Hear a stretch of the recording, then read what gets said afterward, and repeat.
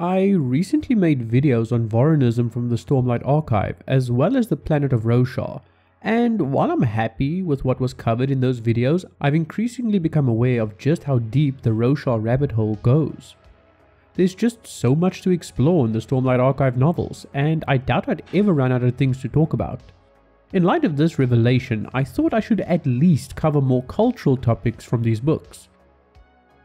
That's when I realized just how much there is to cover when there's so many different cultures on Roshar. Before I can even think about covering more specific topics, I need to, at the very least, cover some of the major kingdoms that can be found on Roshar.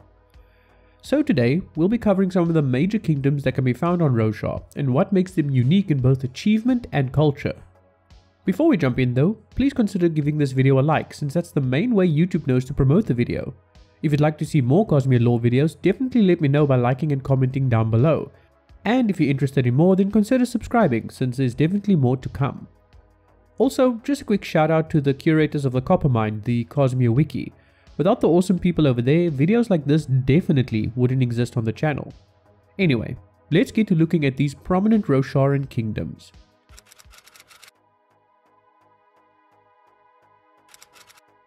Alethkar is the largest and most prominent of the five Vorin nations on Roshar. People from Alethkar are known as Alethi, and their royal colours are blue and gold. Alethkar lies in eastern Roshar, stretching across the entire continent from the Steamwater Ocean in the north to the Tarat Sea in the southwest. To the east, it leans on the unclaimed hills, while to the south it reaches the nationless Frostlands and the Shattered Plains, the latter of which it has recently claimed for itself. In the west, Alethkar has a long and long disputed border with Jah Keved, which currently follows two rivers and the bend of the Sunmaker Mountains. In the northwest, Alethkar borders Herdaz across a stretch of land decided through a few years of border wars. Alethkar was founded as Alethela in the Silver Kingdom's epoch. It survived the desolations, but fell under the sway of the hierocracy until the Sunmaker led the kingdom in a successful revolt against the Vorin rule. After the Sunmaker's death, his ten sons could not agree on one of their number as his successor, with none of them willing to forego their claim to the throne, they split the kingdom into ten princedoms, which they ruled individually as high princes, with no unifying government. The Alethi people are generally tan, darker skinned than the Vedan but not as dark as the Makabaki, with dark, typically black hair. They are typically extremely tall, standing on average at least a foot taller than people living further west. In the late era of solitude, the Alethi tan and black hair are considered the general standard of beauty. Multicolored hair is also present within Alethkar and is an indication of mixed heritage. Some see this as a sign of an impure bloodline, while others use it as evidence of Alethkar's superiority, hard won through conquest. Like all Vorin nations, Alethi practice a division between the sexes. Women have safe hands, covered either by a buttoned up sleeve, typical of light eyes, or a glove, typical of dark eyes. They are discouraged from picking up weapons and fighting. By contrast, men are forbidden to read, as such, oftentimes a man and woman will work together as a team in an important position that overlaps both their areas of responsibility, such as the military, with the woman acting as a scribe while the man issues commands. The militaristic nature of the Alethi further influences this divide, leading to most of the Alethi rulers being kings, and women rarely, if ever, becoming high princesses. Alethi discourage emotional openness and any show of what could be perceived as a weakness, an engaged couple keeping close in public is considered, while not obscene, at least extremely improper. Men are encouraged to be combative and forceful, and women to be witty and willing to engage in barbed banter. Unwillingness or inability to act this way can often lead to a person being labeled as inept or stupid. The Alethi culture is divided into two major castes, the light eyes and dark eyes, separated by, as can be surmised, the color of a person's eyes. The light eyes form the upper caste, with broader rights and privileges, while the dark eyes are the lower working caste. Furthermore, each caste is divided into 10 ranks, with the light-eyed ranks being called Dans, while the dark-eyed ones are called Nans. Some Nans and Dans are hereditary or stable, while others can only be held by attaining a particular position. The Alethi monarch, for example, is the only person in the country holding the first Dan. There are many ways for a person to improve their rankings, such as through marriage or military service. A soldier who becomes an officer will almost automatically be raised to a proper Dan or Nan along with their children. Holding land automatically entitles a Light Eyes to at least the 6th Dan, regardless of their previous status, and becoming a Shard Bearer entitles at least the 4th Dan. The Alethi culture is highly militaristic, stemming from their origins as Alethela. A soldier is considered the highest religious calling, with the fight to reclaim the Tranquiline Halls being believed to be the greatest afterlife one could hope for. The country is almost perpetually at war, if not between the High Princes, then with some external power, Children as young as 12 can and sometimes are recruited by raving armies to feed this endless war machine. Military service is one of the more reliable paths of social advancement in Alethkar. A soldier can expect to raise in Dan or Nan to match his military rank. Moreover, many dark-eyed soldiers go to war hoping to defeat a shard bearer and gain ownership of a shard blade, due to a widespread belief, later proven correct, that bonding a blade would change their eyes to light-colored. Alethkar is one of the five great Vorin kingdoms, with vast majority of their populace worshipping the Almighty. The worship is mostly carried out by the priests called the Ardents. The Ardents, while influential, are not free. Rather, they are slaves to various light eyes. Unlike most other professions, Ardentia is open to both men and women, and to people from all social castes. Ardents are considered genderless from a social standpoint, and as such, many of the Vorin taboos regarding gender and gender roles do not apply to them. They are also the only people permitted to use soulcasters. Unlike other varieties of Vorinism, the Alethi are not required to be personally devout or to perform religious ceremonies. While each citizen is supposed to pick their calling and glory, their goal in life, and the aspect of the Almighty they wish to emulate, the actual religious part of the religion is handled by the Ardents, who perform the requisite rituals and prayers for their masters so as to reassure them of their righteousness. The Alethi themselves rarely interact with the Almighty, save for an occasional glyph ward or prayer.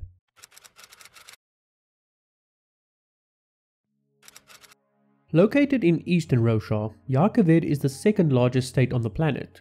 It shares its eastern border with Alethkar and Herdaz on three rivers, while in the west it is bordered by Tu Bayla and Triax.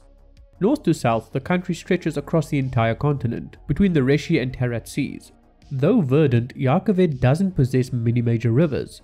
The country's most notable geographical feature are the Horneater Peaks in the east, which form an important strategic barrier against the Alethi. During the Silver Kingdom's era, the territory now occupied by Jah belonged to the Kingdom of Valav. Since that time, the countries of Tu Bayla and Triax have splintered off, though Jah still holds vast majority of Valav lands, including what was presumably its capital, Vedenar, along with its Oathgate. For a long time, Jah was the largest country on Roshar. After Gavilar Kholin unified Alethkar into a single state, the Veden fought a number of small border wars against the Alethi, attempting to test their defences. Though they were eventually pushed back by the forces led by Dalinar Kholin, small conflicts between the Alethi and Veden High Princes continued for many years. Nonetheless, the country remained the main oasis of stability in the region. Much like Alethkar or Kharbranth, the population of Jah Keved is divided into Dark Eyes and Light Eyes, with the latter holding power. A number of weaker, lower Dan noble houses owe fealty to a group of high princes, who in turn owe fealty to a king. Prior to the civil war, known Veden high princes were Valam, Abriel, Boria, Evanor, and Jalmala. As the largest country, prior to the unification of Alethkar, Jah Keved has strong influence on the culture of other Vorin states. The center of Vorin Church, the Holy Enclave, is located in the Veden city of Valath. Valath is also the location of one of Roshar's major Spanreed hubs, adding to the city's importance. Prior to the Civil War, each Veden High Prince maintained their own military. However, it appears that following Taravangian's crowning, the surviving units have all been folded under his command. As the last battle was fought over Vedenar, most of Veden troops are stationed in the storm bunkers in the city's outskirts. The Civil War was catastrophic for them. Many units suffered over 50% casualties. Yet even with those losses, the Veden military boasts an enormous number of soldiers and powerful fortifications. Entering their territory without sufficient preparations is generally considered to be a horrid idea, bound to mire the potential assailant in years-long conflict and a massive drain on resources. The Veden people are typically associated with pale skin and violet eyes, their language belongs to the Vorin family and is close enough to that of Alethkar to be mutually intelligible for both sides. The Alethi are also close to Vedans in fashion. The Vedan are by and large Vorin, worshipping the Almighty and the Heralds. They appear to be more religious than their average Vorins, with higher importance being placed on the trappings of the faith, such as the safe hand and the strict division between masculine and feminine arts. In particular, they are noted to be highly respectful and reverent of the Ardents, and extremely traditional in the particulars of doctrine. In Veddan families, the sons have two part names, with the latter part being their given name while the former references their order of birth. The first four sons are called Nan, Tet, Asha, and Van. Should one of the sons die or be disinherited, his younger brothers all move up a level. For example, Tet Balat becomes Nan Balat, the numerals are used mainly in formal contexts, siblings usually drop them when talking amongst themselves. When a Veddan couple marries, the spouses retain their family names. The children of the couple all use the surname of only one parent. It's unclear whether this is always the father's or if it depends on the parent's relative dans.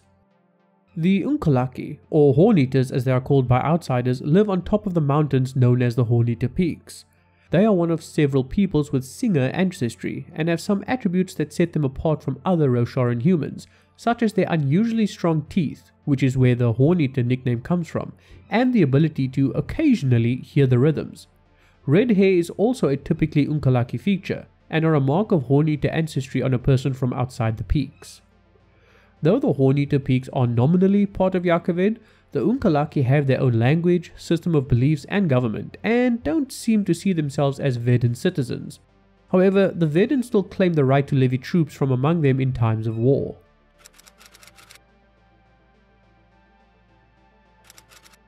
Thaylenah encompasses a trio of islands, as well as a small number of islets in the southeast of Roshar, on the ocean known as the Southern Depths.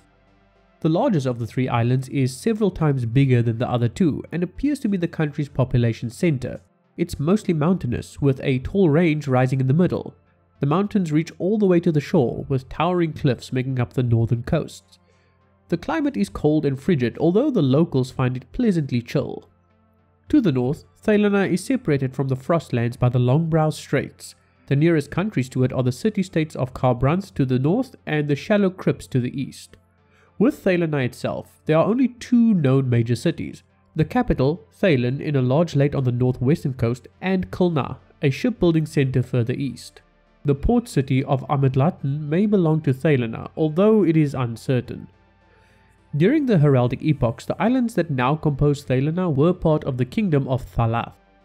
The original capital, Thaylen City, was likely also the capital of Thalath, as it possesses that state's oathgate. It's unclear when the country broke apart, However, Thaylenah itself is about 4,000 years old, according to the local tradition. In the era of solitude, Thaylenah became a titan of commerce, with their ships and caravans trading goods around the world. The country was largely peaceful, with no conflict or war within the past generation. This age of prosperity ended with the coming of the true desolation. The Everstorm dealt massive damage to the country's economy, as Thaylen City was devastated, first by the storm itself and then by the local parshmen stealing the ships and leaving. Thaylenah is an elective monarchy. Following the death of a king or queen, an assembly of merchant councils and high-ranking naval officers elects the new ruler, with the current one being Queen Fen Rnamdi. The ruler is said to represent the guilds of Thaylenah. While the kingdom follows the Vorin divisions between Light Eyes and Dark Eyes, there doesn't appear to exist a formalized noble caste analogous to Alethi or Veddan High Princes and High Lords. Rather than Dans and Nans, the Thaylen utilize their own system of ranks. The Thaylen monarch, however, still claims the first Dan. Thaylenah appears to have little in the way of a land army, but they do have a long-standing naval tradition famous the world over. Thaylen officers are trained in naval tactics and strategy to a far greater extent than their counterparts elsewhere, and their country boasts a large fleet. The kingdom holds five shard blades and three suits of plate, each owned by a different house, the ones who hold the kingdom's shards are referred to as high gods. The Thaylen have a system of underwriting trades based around the Thaylen Gemstone Reserve in the capital. Each sphere stored there has an owner and an identifying number. People trade the gemstones among themselves using the number however, rather than taking the spheres in and out of the vaults. They leave them inside. The system functions properly so long as people trust the reserve that the money is there, allowing merchants to trade large sums without the usual dangers associated with it. This, along with the existence of span routes to trade over, allows Thaylen banks to have wide networks all over the continent, with branches in major cities like Kholinar. The Thaylen people are tanned, though not as dark as the Reshi, and, like most Rosharans, have epicanthic folds. They are typically short, although some can grow as tall as the Alethi. Their most recognizable distinguishing feature are their long white eyebrows, which they sometimes tuck behind their ears.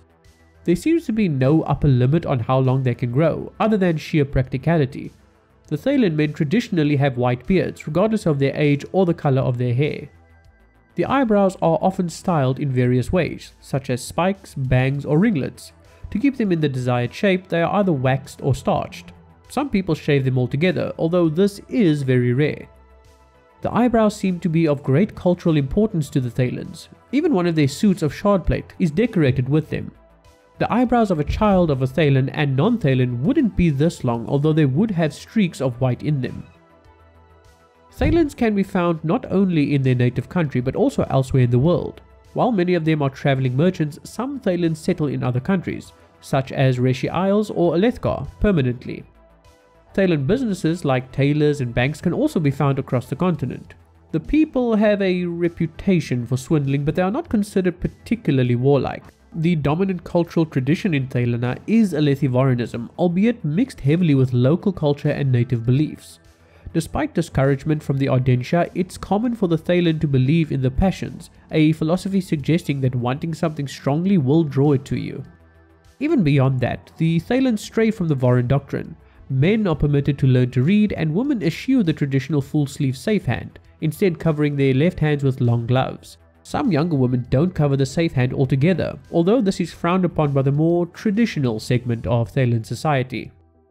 Although this makes them half pagan in the eyes of the Vorin countries, the Thaylen are nonetheless considered one of the five Vorin kingdoms, and their religious authorities are taken into account when the Ardentia as a whole debates. However, there has always been some friction between the Thaylens and the church authorities, with the Thaylen monarchs often having to go the extra mile to reassure the Ardents of their piety. In the present, this has led to some voices in Thaylenah to call for breaking ties with Vorinism altogether.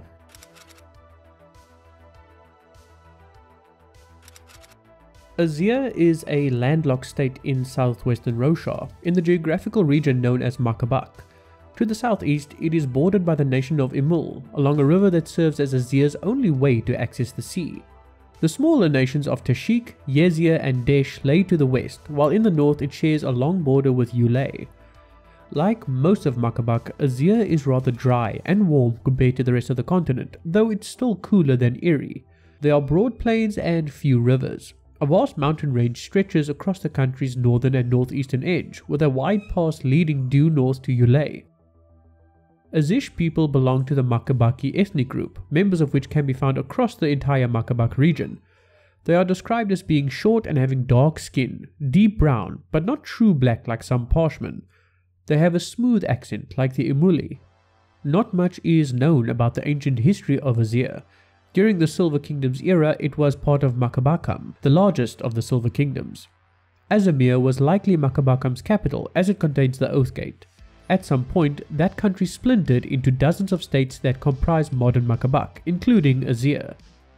Sadees the Sunmaker, the infamous Alethi warrior, conquered Azir as part of his bid to take over the entire continent during the reign of Prime Aqasix Snoxel, the occupation was extremely violent. Up to 10% of the country's population died, many of them due to Sadees seemingly seeking to eradicate the Azish. In some areas, Sadees ordered a certain number of executions a day. In others, he declared all men with hair at a certain length to be killed. Sadees rationalized this by claiming that the Azish were uncivilized since they did not use eye color as a basis for their social hierarchy. Following Sadees' passing, his kingdom was split between his sons. Without a true ruler, the empire became stretched too thin, and the Azish regained their independence. In the centuries since Sadees' conquest, Azir rose to the position of the cultural and political center of Makabak. Many of the surrounding Makabaki nations became client states to it, leading to the formation of the Azish Empire, a semi-formal name for the group of states led by the Prime Aqasix in all international matters. The Azish Empire, despite its name, is closer in nature to a confederacy of states. It is composed of nine member countries Tashikk, Yezier, Emul, Steen, Alm, Desh, Marat, Tukar, and Azir itself. While all of those nations consider the Prime Aqasix to be their emperor, Other than Azir, they are subject in name only. However, leaders of nations within the empire do follow certain traditional customs. For example, they cannot marry without the prime's permission. In practice, the states typically follow Azir's lead when dealing with international politics. Historically, Tashikk and Yezier are the closest to the Azish throne. The stereotype of the Azish is that they are peaceful, prefer education to war, and adore the bureaucracy and paperwork. The Azish themselves consider the latter a point of pride, as the structure of their government has for many centuries prevented any major internal crisis. They are, however, focused on being respectful and polite. In Azir, one should not raise their voice when talking, and should always remain calm even when angry. Particular care is taken never to offend a guest, though this does not mean the Azish can be pushed around. As a result, they are known for talking around the matter a lot when disagreeing with something, and never saying no outright. The Azish government is a bureaucracy, composed of several levels of scribes.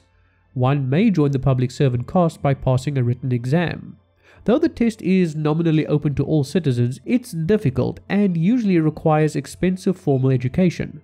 Most government officials are therefore people whose social status was already high. The highest ranking members of the government other than the prime Aqasix are the viziers. They serve as advisors to the prime, with enough political pull to force their decisions on them and are responsible for selecting a new prime following the death of the previous through an application review process. Their high status and broad knowledge means that each prime will often be a former vizier, as they can make their applications the most convincing. The elected ruler of the Azish Empire bears the title of Prime Aqasix. Their symbol of power is a traditional hat with sweeping sides called the Imperial Yuanazixen. The Azish believe that they are never without a prime. When a prime dies, the election of a new one is considered as a search for the person who is and always has been a prime. Any person except for religious leaders known as scions can apply for the position. However, the process requires many forms and essays which are reviewed by the viziers. The Azish pride themselves on this method as it avoids succession wars. The prime is considered to belong to the public. Citizens can enter a lottery to watch the prime sleep, eat, and perform other daily tasks. They can also collect and keep relics of the prime, such as a nail clipping or a strand of hair. When the Prime issues a mandate to the public, citizens have one month to make their grievances known before being forced to comply. These grievances are often displayed as logical arguments and protests. The Azish do not divide their population into light eyes and dark eyes. In the Vorin countries, it is speculated that this is because there aren't enough pale-eyed Azish to form a self-sustainable social caste. Rather, the Azish social hierarchy is based on education and elevation through the bureaucratic government system. Viziers and scribes are among the highest ranking members of society. Scribes are stratified by level and then circle, with a person's particular rank being indicated by patterns on their clothing. Regular citizens who are not members of the government are known as discreet. Order in the country is kept by traveling lawkeepers called constables. Constables typically wear black uniforms with a double row of silver buttons in the front and thick gloves along with collars. They seem to have the authority to capture, try, and even execute criminals. However, they cannot act against the viziers and are not allowed to requisition the imperial shard blades.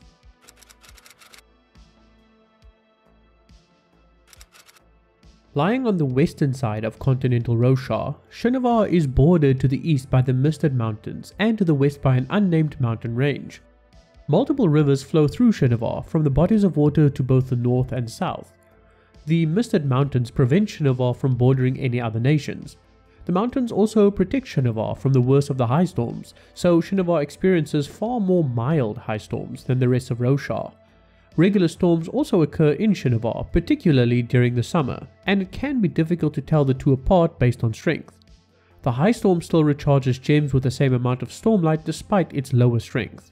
The Shin, natives of Shinovar, have round faces and are one of the few ethnicities on Roshar whose eyes lack epicanthic folds. These features give them a wide-eyed look that, to outsiders, makes them appear to resemble young children. The Shin also have lighter skin than people in other parts of Roshar and are often described as pale. The average Shin is shorter than the average Alethi. Their distinctive features are the result of them being xenophobic and not intermixing with the other races very much. Shinovar has a vastly different ecology from the rest of the planet, as the flora and fauna there have not the need of adapting to survival in the high storms. Much of the ecology there is based on the plants and animals brought to Roshar by the Ashyn refugees. The ground in Shinovar is coated with a layer of soil, making the ground feel springy to outsiders. The entire land is coated with a thick layer of grass that does not move or react to movement, the trees dotting the landscape are straight upward with leaves that do not withdraw into the trunk. Plants that are known to be farmed in Shinovar include wheat, strawberries, and grapes. Animals that live in Shinovar include chickens and horses. Horses in Shinovar are both domesticated and wild. When humans first arrived on Roshar from Ashyn, the singers gave them the land of Shinovar to settle in. Because it is sheltered from high storms, humans were able to grow the plants and animals they brought with them there. Humans, however, decided to expand from the land they were given. During the Silver Kingdoms, Shinovar was known as Shin Kaknish. Nohadon claims to have been in a war near the Shin border.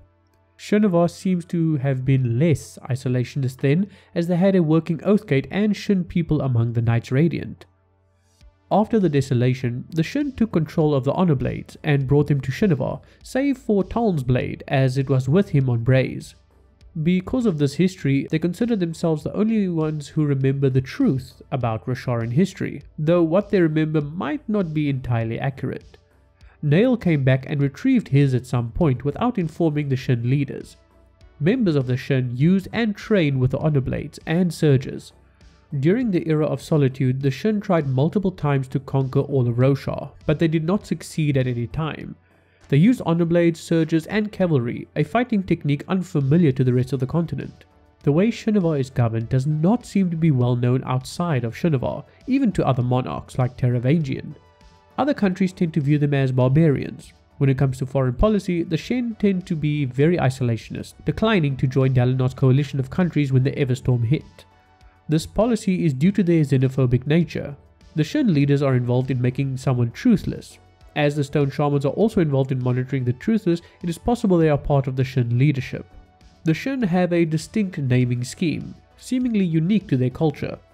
A person is identified first by their given name, then as either son or daughter, and finally their parent, father for men, possibly mother for women.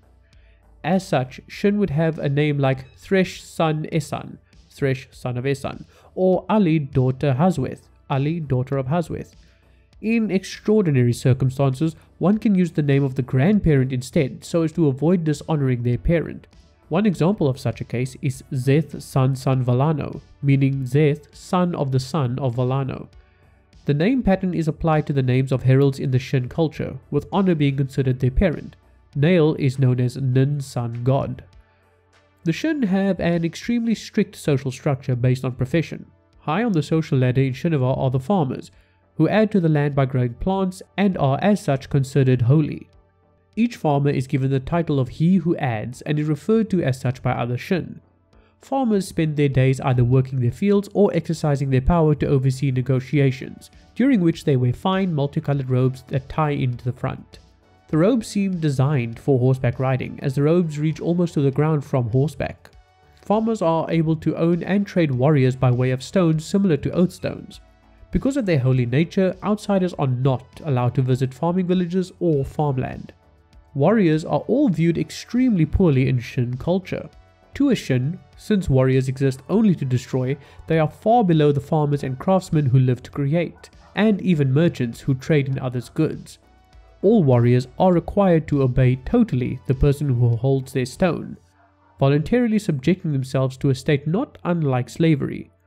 While a Shin warrior is able to distinguish his stone, it does not appear to be remarkable in any other way. Their subjugation appears to be entirely voluntary. As a rule, Shin warriors cannot be given to outsiders, and the rules regarding the training of warriors inside Shinovar are unknown. What is known, however, is that any person who picks up a weapon is required to take a stone and live the rest of their life as a warrior. Warriors are recognizable by the simple brown clothing that they wear. Only the truthless are considered lower than warriors in Shin culture. At present, there is only one Shin truthless, and there are not likely to be any more in the foreseeable future.